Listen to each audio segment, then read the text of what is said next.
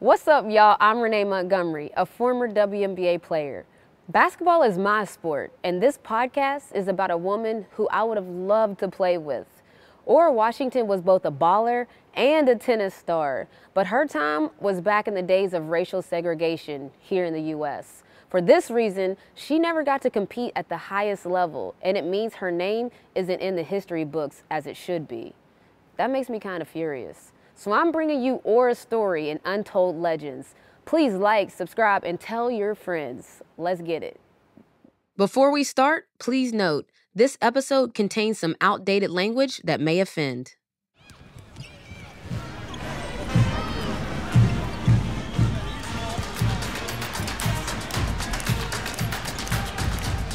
Welcome to tonight's game here at Greensboro Sports Arena, and quite a contest it is. Hey, you're lucky. I got us courtside seats, and this should be quite a game.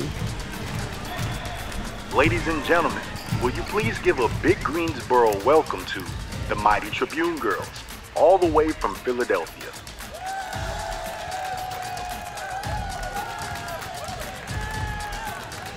You got this, Ora. It's 1934. We're in the small city of Greensboro, North Carolina, at the sports arena. Ora and the Tribunes are partway through a tour of the segregated South playing other black women's teams. This is a reconstruction of one evening of that tour. Go Trib! Go Trib! Go Trib! Just over there to the left, that's Ora in the red and white for the Tribunes. And you can see she's getting a lot of attention from the crowd. Right now, she's known. People recognize her photos in the black newspapers. Come on, Ora. You wouldn't know it from the confident way she's moving around the court, but Ora's dealing with a lot right now. Juggling a high profile tennis career, her paying day job in Philly, and this third career as an up and coming star of women's basketball. I have no idea how she finds time to sleep. And ladies and gentlemen, remember, the evening doesn't stop with the final whistle tonight. Stick around for dancing and hot music from the finest bands in North Carolina. Today's game is one that counts, the climax of the season. Win this game, and the Tribunes will take the crown as the strongest black women's team in the country. Ora's now the Trib's captain, a long way from her days taking beginner sports classes at the Y. Her presence on the court her growing reputation as a match winner is part of the psychological warfare the Tribunes wage against the opposition. And the other side, not to be underestimated. And here they are, playing the Tribs tonight. Greensboro's finest, our very own, the lovely Bennett College girls. Come on, Ruth. Bennett College are the host here tonight, a team made up of students from one of the leading black women's colleges. You can hear as the home side that most of the crowd are with them. And there's their star player, the feared Ruth Glover. She's known on campus for training her team against men in order to toughen them up. And Bennett have won the tip here, pushing deep into Trib territory. Here's the shot. Ooh, Great defensive possession to start the game. The Tribs are led by Ora now and have clawed their way to the top of the field. Nice drive from Ora Washington. That's when she's at her best. She gets low when she gets ready. But as we'll hear in this episode, to have a hope of maintaining that position or of winning a game like this, Ora will need more than her own talent. For the first time, she's now leading a team with all the new challenges and risks that that brings. Does she have what it takes to stay at the top of her second sport? You got this, Ora. And another thing, there's a reason to think that this particular match might be personal for Ora.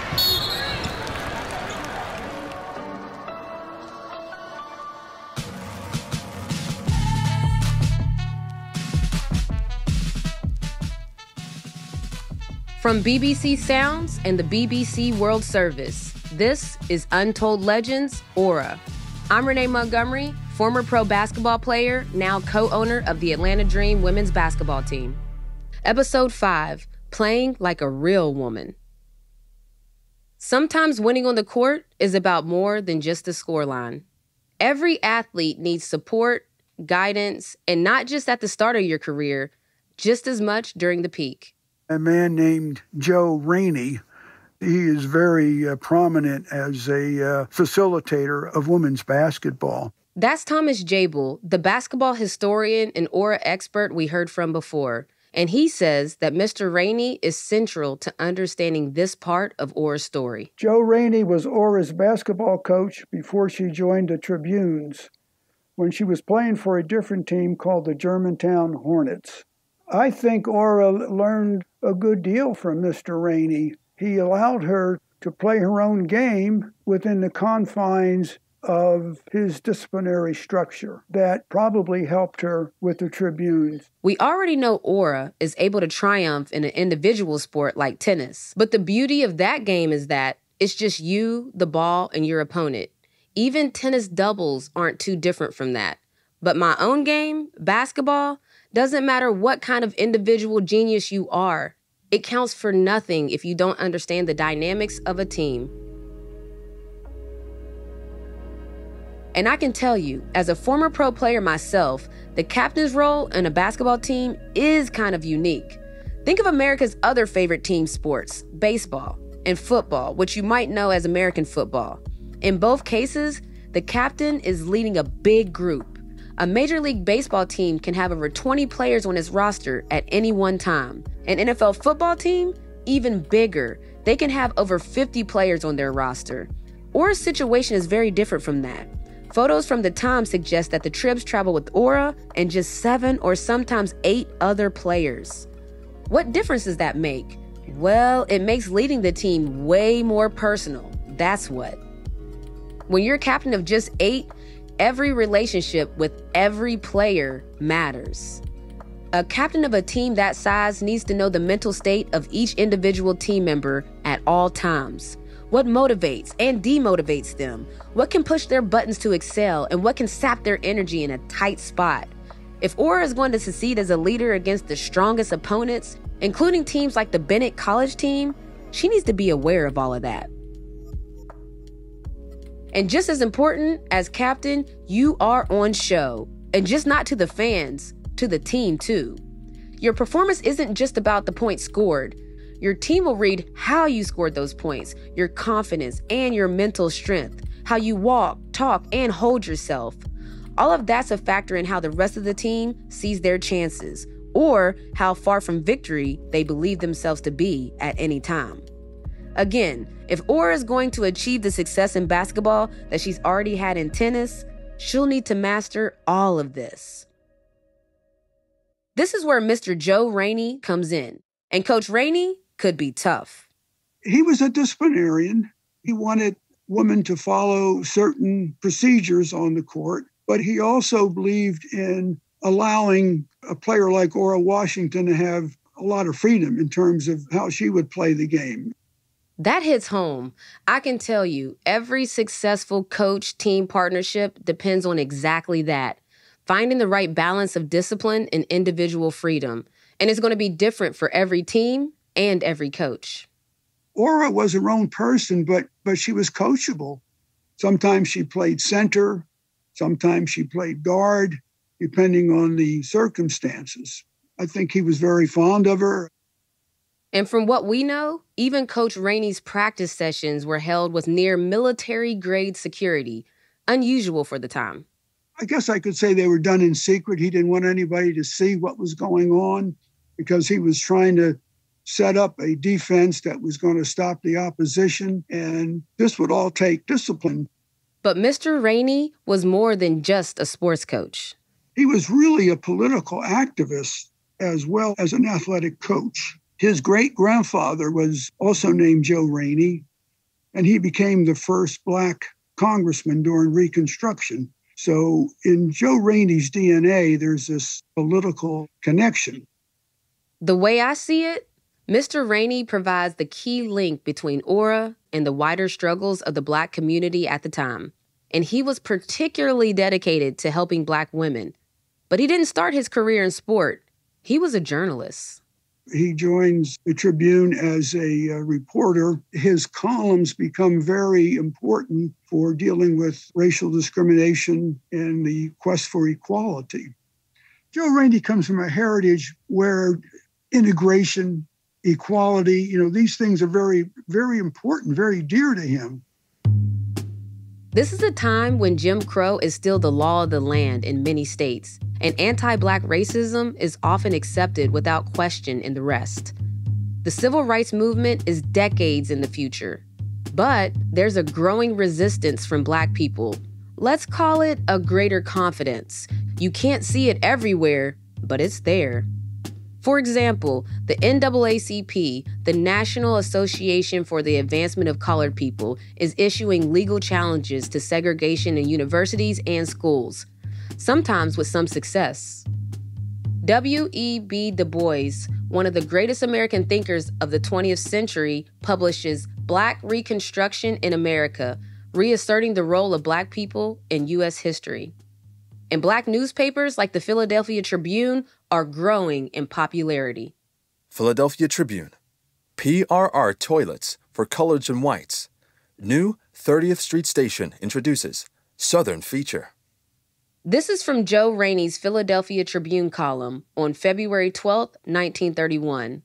The PRR is a rail company, Pennsylvania Railroad, and he's discovered they are segregating restrooms for their workers according to race. That usually only happens in the Jim Crow South, not in a northern city like Philly, where black people are supposed to have more rights. What Joe sarcastically calls the PRR's new Southern feature. Separate toilets for employees only, claimed temporary. This creeping spread of Jim Crow, Joe Rainey feels this is something his readers need to know about. Separate lavatories for Negroes have been built in the new 30th Street Station development of the Pennsylvania Railroad. They are next to each other, and one is painted for white only, while the other door is painted for colored. So Joe Rainey finds out about this and he approaches the officials of the Pennsylvania Railroad and he says to them, You got segregated facilities here for the employees. That's discrimination. We want you to take these signs down. Joe publishes his column and then uses his network of connections to put additional pressure behind the scenes on PRR, a double attack. The result? The Pennsylvania Railroad took those signs down. So that was a victory, if you want to put it in the victory column for Joe Rainey.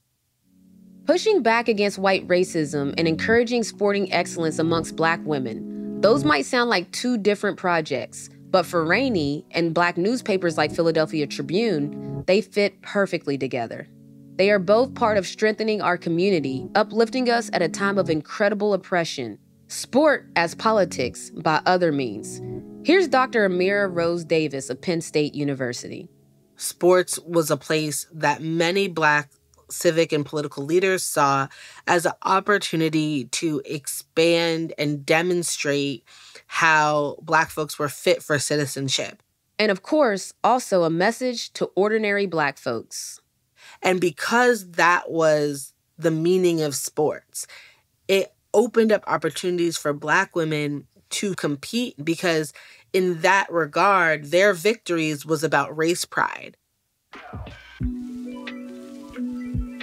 So, the Tribune's basketball team is about more than just advertising a local newspaper or even about collecting trophies.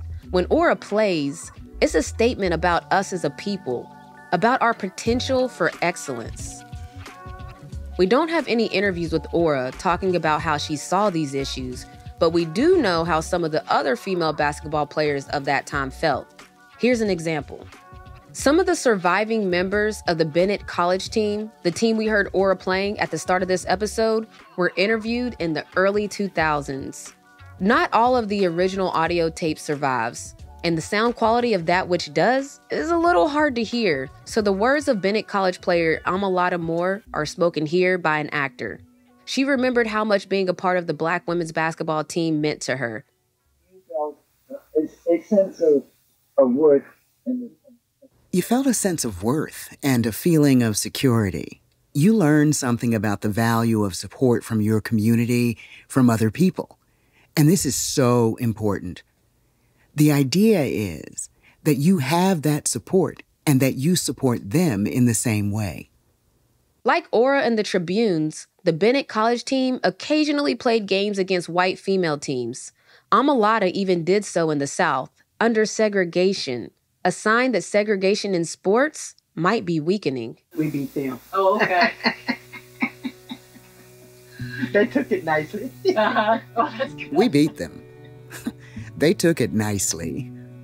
I'll have to be honest, I was glad we won because being in a small town, I had experienced a lot of segregation and so forth, and being called out of your name and all. I'd experienced all of those things. So it was a thrill, kind of, to beat them. So it was a thrill kind of to beat them. Uh-huh.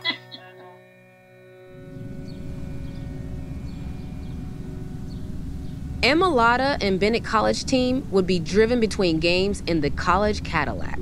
Not the kind of car people expected black people to drive in North Carolina in the 30s, although the college was in fact rich enough to afford it. And of course, a black college owning a flashy car, that was another statement in itself. Sometimes they'd pass hitchhikers, people thumbing. We would be riding along the highway, and you'd meet some white fellas thumbing. And we hang our heads out the window and say, Jim Crow car.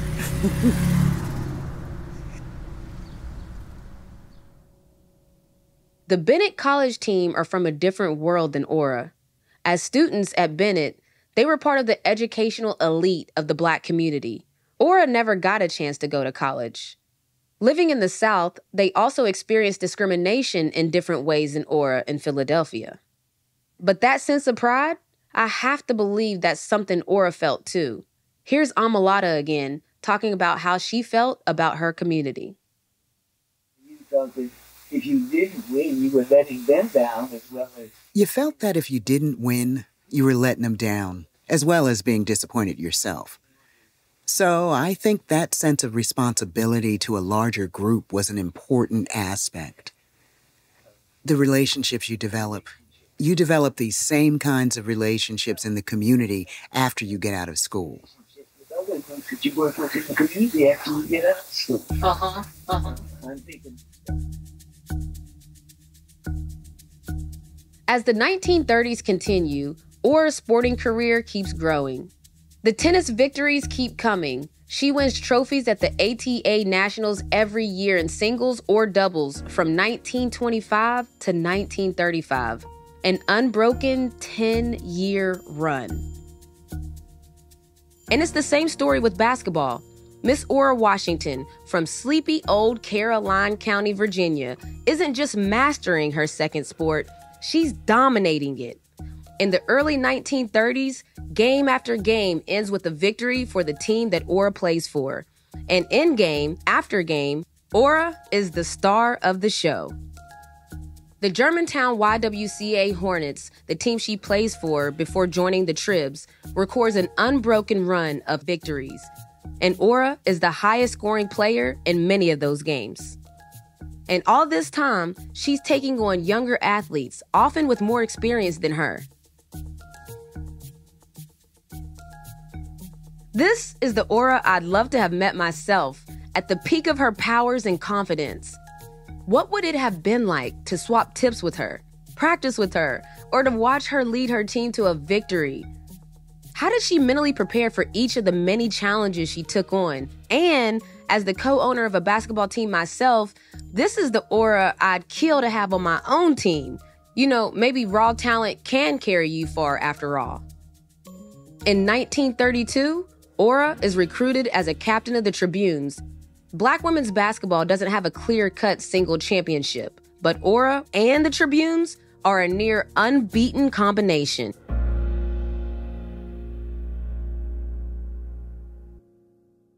But for all those trophies and all that applause, Ora isn't seeing much financial reward for her achievements.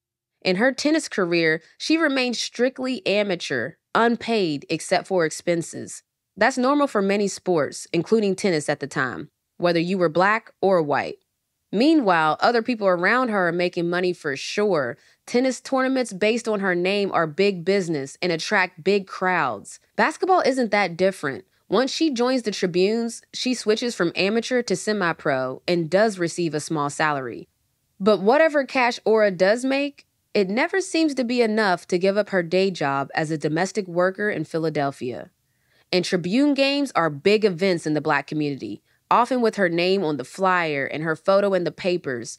Everyone else involved gets paid on game night, from the venue owner to the hot dog vendors and the jazz musicians playing for the crowd. Belmar stars may upset crack colored feminine troupe tonight.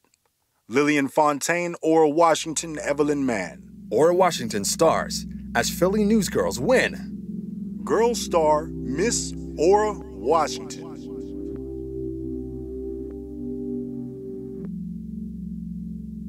There's another thing you notice when you dig through the sports pages of black newspapers from that time. Joe Rainey and the team at the Philadelphia Tribune do a great job of promoting Ora as an incredible athlete. There are photos of her, headlines, and match reports praising her as the greatest of the time. But never anything of her as a person, her thoughts, her likes and dislikes. No sign of Ora as a celebrity in her own right. One spectacular shot by Inez Patterson or Ora Washington will drive away your depression blues. Pamela Grundy has been looking into Ora's profile at that time. She had no models for African American female stardom. There weren't big stars. There weren't even black female stars of any kind. There just weren't models. She was the first. Let's compare Ora to the greatest white female tennis player of the era, Helen Wills. Now, she did become a celebrity. Helen Wills came from a tennis playing family and had a father who was a doctor and had a lot of money. And so she was nurtured at every stage of her career. There wasn't anybody to nurture Ora. And when you check Helen Wills' clippings in the white press, you find that the media was very interested in her life away from the court in their own way. May 23, 1924. Helen Wills' trip abroad will be a personal triumph. With her very becoming modesty and her pleasing personality, Miss Helen Wills, the 18 year old American tennis champion, is sure to have a triumph on her first visit to Europe. There's a lot more of the same kind of sexist writing in other articles. She's interesting because of her playing, but also because of her becoming modesty. This is around the same time Ora was entering her first tennis championships. Same thing happens in the black press with many black female sports stars. Here's sports historian Amira Rose Davis. Do you think of black baseball player Toni Stone, who they did a spread in Black Magazine about her and they like featured her in a dress because they wanted to show that she still was domestic. They had a picture of her without her shirt on, laying down, getting rubbed down by her husband, so they could demonstrate she was still heterosexual. There was like this policing of their sexuality, of their femininity. So women could break through as sports stars, but it helped if they presented themselves as conventionally feminine. And it also helped if they made sure to demonstrate they were straight. It required a fine line between your femininity and your athleticism. What it required is for your gender presentation to affirm your femininity while you were playing sports. Perhaps Ora simply wasn't interested in creating this kind of image for herself, or interested in walking that fine line, appearing sufficiently feminine and straight and fitting into the boxes that the time required. There's hints and pieces there of people not feeling like Ora was womanly enough. She wasn't like a quote unquote real woman, which lots of female athletes have gotten over the years because sports and the activities of sports, particularly if you play it in an assertive manner, is coded masculine. Pamela found one article that does describe Ora and the Tribune's team off the court in 1934, they had some kind of a dinner for the team because they had played so well. And everyone wore evening gowns, including Ora. But if you read the coverage, it's very interesting. They speak of one player as being beautiful in her outfit and one as being stunning. And then they say Miss Ora Washington looked well in pink silk. So it's definitely you could just see in that language that she's different. People around her did see her as different. She was never married, and there was never any coverage of any kind of relationship with a man, which generally a lot of female athletes, you know, if you had a boyfriend or a husband, they made a big deal about that in the papers. You were normal because you liked to play sports, but off the court, you were just a regular woman, you know, to try to create this more feminine image. Face to face in real life, people can be a lot more direct, even hateful.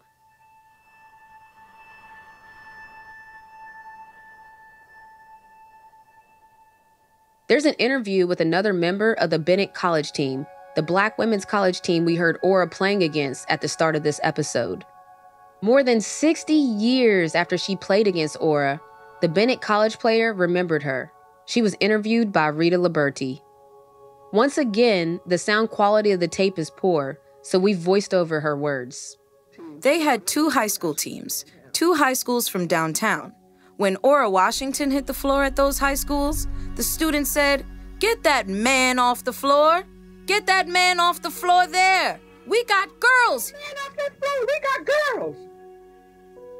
She also remembered one occasion when Ora's team was on tour and staying in a women's college student hall. They gave them six rooms on the inner hall. They put them in six rooms on the end of the hall in the back, and not a single girl would stay in a room with Ora. And we didn't know why. Well, you see, we didn't know the word gay then, and all that kind of stuff.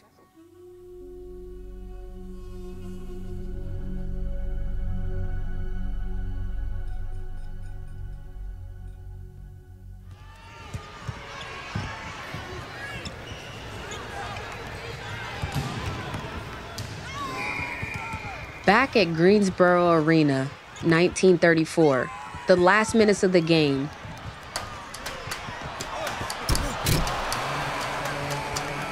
We don't know if the incidents with the Bennett College players calling Ora names, mocking her for being a man, happened before this game or after. But if they did happen before, what happens now must be really sweet for Ora as Tribune's captain. And they're just letting the clock run out. The fans are on their feet. They're celebrating another win by the all-conquering champions, the Philadelphia Tribune. This time, Ora wins. She whoops them.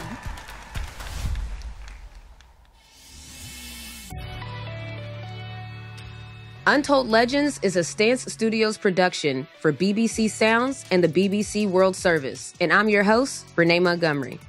Our cast were Cameron Williams, Joy Vandervoort Cobb, Allison Brown, Alex James, Serena Grace, Omar Francis, and Ken Foster. Before you go, I want you to be a part of our Ora squad.